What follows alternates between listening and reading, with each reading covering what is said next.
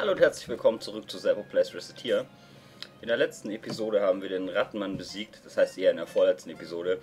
Und in der letzten Episode haben wir unseren Gegner kennengelernt, unsere Gegenspielerin, um genauer zu sein. Und ähm, in dieser Episode will ich eigentlich gleich nochmal in den in den Tempel gehen. Das will ich da nicht hinstellen. Also ich will gleich nochmal in den Dungeon gehen, nicht in den Tempel. Und nochmal da reingehen und zwar mal schauen, was nach dem Rattenmann noch so alles kommt. So. Ich werde gleich in die Adventurer-Gilde gehen. Und wieder mit dem Louis. Und ich werde dem Louis hier ein bisschen was zu essen einpacken. Und zwar, hm, was wollen wir denn? So, wir können ja auch nachschauen. Moment. Ja. Ich will erstmal. Ja, ja, ich.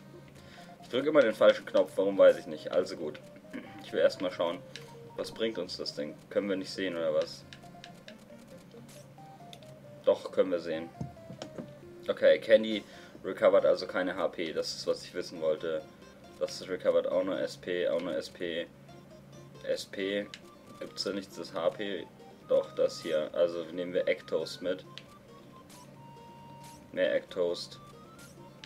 Nochmal Eggtoast. Und der ganze Rest, den ich da habe, ähm, der lädt nur meine SP wieder auf. Die brauche ich dafür, meine Spezialschwertattacke zu machen. So, das habe ich jetzt alles dabei und wir können los. Ich gehe wieder in den Jade-Dings. Und ich habe mir erst überlegt, ob ich nicht hier weitermachen sollte bei 6 bis 10 und einfach von dort aus weitermachen. Aber ich werde mutig sein und ich werde gleich hier bei 11 weitergehen.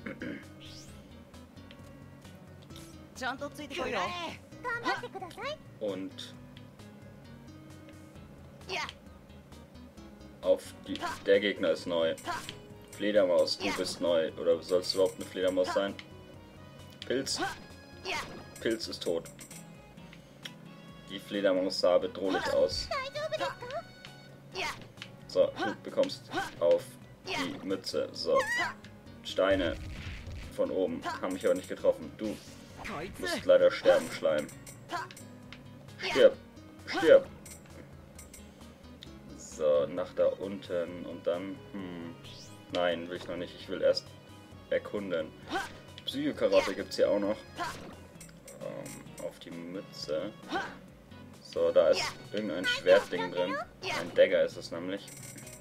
Also ein Dolch. Fledermaus. Oh, die kann so Kringel schießen. Das sieht bedrohlich aus. Ich glaube, dieser Kringel sollte mich nicht treffen. Autsch. Und der Pilz kann jetzt auch springen. Da ist nochmal so ein Amulett drin. Das war aber nicht so teuer.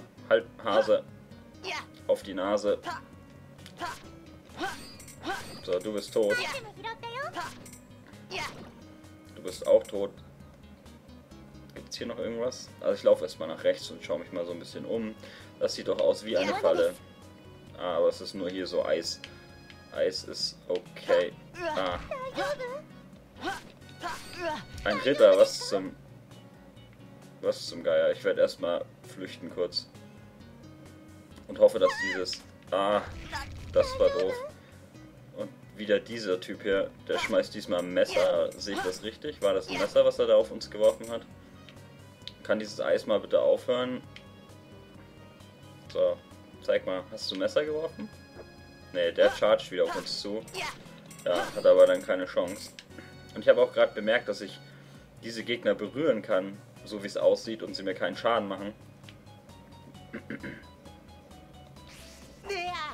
So, Ritter, was machst du?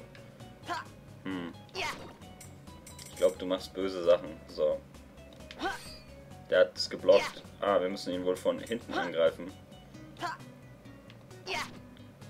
Oder wir müssen Counter-attacken. Ja, er blockt unsere Attacken da die ganze Zeit. Hm, also Ritter mag ich nicht. Die oh, den habe ich überhaupt nicht gesehen. Ritter blocken unsere Attacken. Oh, da kommt ein Level Up. Das habe ich auch überhaupt nicht beachtet. Ich muss mal zugeben, dass ich gerade wenig konzentriert spiele. Ich muss mich mal ein bisschen mehr hier drauf konzentrieren. So. Boah, Hase. Deine letzten Stunden sind gezählt. Pilz. Und Hase. Ja, auf die Nase. Stirb. So. Wir wollen natürlich weitergehen. Hier haben wir ja alles erkundet. Ach ja, das war nicht nett von dir, Fledermaus. Dafür musst du jetzt leider sterben. So, und wir gehen natürlich jetzt nach unten. Hier haben wir ja alles abgeräumt, was es so gab. Ja. Ja. So, ein Schleimball und noch ein Schleimball. Und die Steine haben mich voll getroffen. Die machen mittlerweile sieben Schaden. Das ist eigentlich eine ganze Menge. Autsch. Oh Mann. Dieser kleine Pilz, der da so hüpft, der ist ziemlich fies. Vielleicht bin ich auch nur zu dämlich, ihn zu dodgen. Auf dich hätte ich fast nicht gesehen. Ich muss mich echt mal ein bisschen mehr konzentrieren. Und ich muss auch mal nicht in jede Falle laufen. So. Nach oben will ich als erstes. Da ist natürlich noch ein Weg nach rechts. Du hast nicht getroffen, jetzt bist du leider tot. So. Da ist ein Bogen drin. Und zwar ein langer Bogen. Ein Langbogen. Du bist tot. Du bist nicht tot, aber jetzt bist du tot. Glaube, wir haben schon relativ gute Items auch bekommen. Also zumindest welche, mit denen ich auch was anfangen kann. Und keine Ingredients. Das gefällt mir ganz gut. Und nochmal ein Nussmix. Ich will mal ganz kurz gucken, ob, was denn der Nussmix kann. Mhm. Ah, das kann man auch einfach essen und das gibt uns dann Leben zurück. Gut zu wissen. So. Pilz und grüner Schleim. Du bist tot. Du bist auch tot. Also eigentlich ist es momentan nicht so schwer. Aber das... Man sollte sich trotzdem nicht dumm anstellen, sag ich mal. Und ich habe einen Fledermausflügel bekommen und da war wieder die Falle drin. Ich werde jetzt einfach mal hier in der Ecke warten wie ein Feigling, bis das weggeht. Das mache ich nämlich gar nicht, so rumzurutschen. So. Dü, dü, dü, dü, dü. Geh mal bitte weg, Eis. Ich kann schon mal so langsam. Treffer. Treffer. Tot. Hm.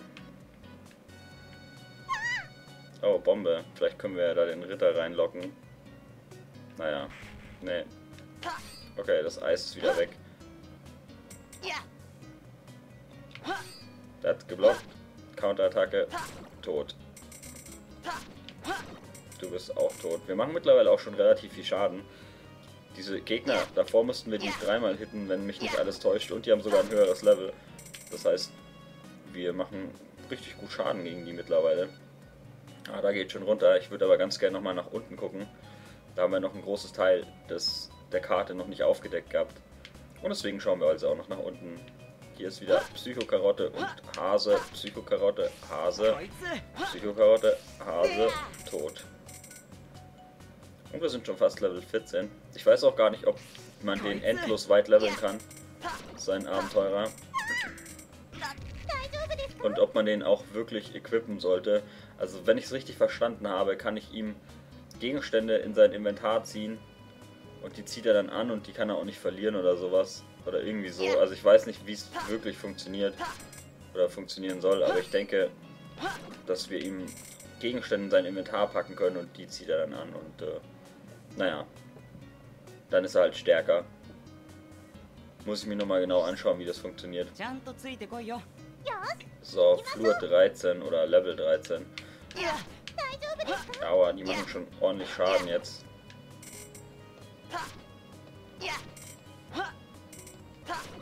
Autsch. Boah, das hat wehgetan. Das hat uns 10 Schaden gemacht. Das ist nicht gut. Ah, der wirft einen Stein auf uns. Hallo. Das ist aber nicht nett, mit Stein zu werfen. Hat man dir daheim keine Manieren beigebracht? Falle, Falle, was für eine Falle? Jetzt hat mich nur paralysiert. Interessant, dass diese Falle, die einen nur so für eine kurze Zeit stand, die hat eigentlich überhaupt keinen Effekt, da ich ja eh immer alle Gegner eigentlich töte, bevor ich so eine Kiste aufmache. Außer, wenn ich die Kiste aus Versehen öffne. Da man ja Ah, okay. Jetzt habe ich auch zumindest, glaube ich, verstanden, wie das funktionieren soll. Da erscheinen schwarze Punkte auf dem Boden. Ich habe immer versucht, die, die Steine zu dodgen. Wahrscheinlich muss man einfach nur da sein, wo kein schwarzer Punkt auf dem Boden ist. Denke ich mir zumindest gerade. So, ich will jetzt mal bitte leveln eben, damit ich keinen kein Gegenstand essen muss. Wenn ich nämlich ähm, unter 20 Leben falle, dann würde ich gerne was essen, dass ich nicht sterbe. So, das nehmen wir erstmal mit. Okay. Jetzt muss ich irgendwas essen und zwar... Hm, ich esse einen Eiertoast. Das sollte er erreichen bis zum Level. Kreuze. Uah. Ah, oh Mann. Das ist aber Schrimp Doria, was zum...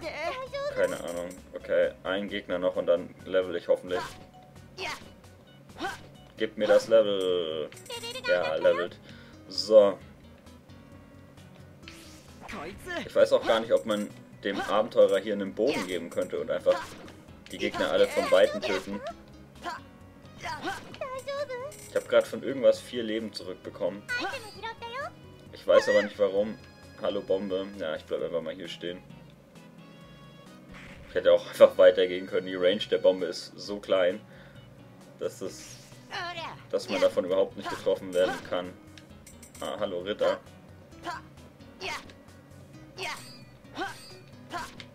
So, du bist tot. So, was haben wir noch nicht erkundet? Da rechts. Oh Mann. Ach so, die Gegner heilen sich, wenn sie mich treffen. Nicht ich habe mich geheilt, sondern die Gegner sich an mir scheinbar. Jetzt verstehe ich auch deren Attacke. Die Fledermaus, da muss ich echt aufpassen, dass sie mich nicht mit ihrer Attacke trifft, weil die sehr viel Schaden macht. Ich glaube, die, die hat 10 Schaden pro Hit gemacht. Hm. Du bist immer sehr unfreundlich zu mir, deswegen musst du leider sterben. Oh, ein Windbreaker ist es, glaube ich. Yep. Und weiter nach rechts. Da habe ich schon den Pilz gesehen. Und da ist eine Falle mit blauen Schleims auf Level 9. Ja, kommt mal hier so ein bisschen, genau. Kommt mal hier so ein bisschen nach unten, dann kann ich euch schön einzeln töten. Ich muss mich nicht so sehr in Gefahr begeben. Ja, ja, stirb. Ah, verdammt, du sollst sterben, habe ich gesagt. Stirb. Du sollst auch sterben, wo bist du? Da bist du, tot. So. Ja, Level 15 werde ich wahrscheinlich noch werden. Also nicht auf diesem Flur hier, aber wahrscheinlich ähm, auf dem nächsten dann.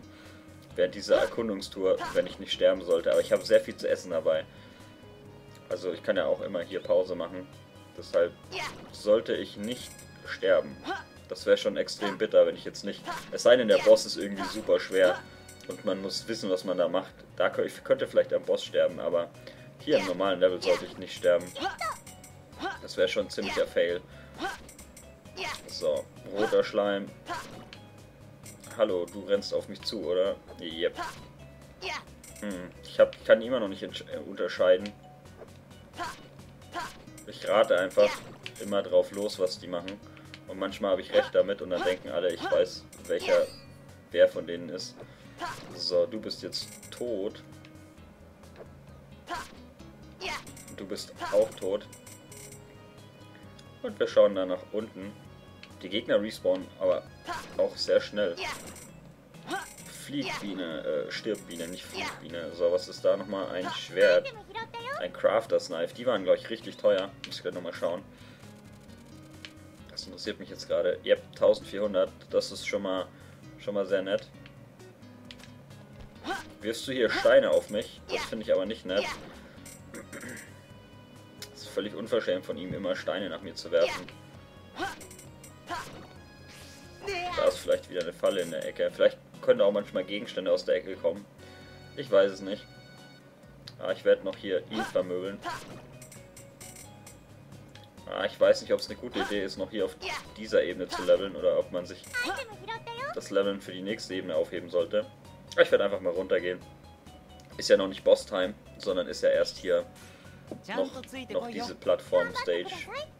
So, was haben wir hier? Eine Bombe. Die Bomben sind eigentlich völlig nutzlos. Die treffen wir eigentlich eh nie. Und der Ritter ist eigentlich auch ziemlich nutzlos. Autsch.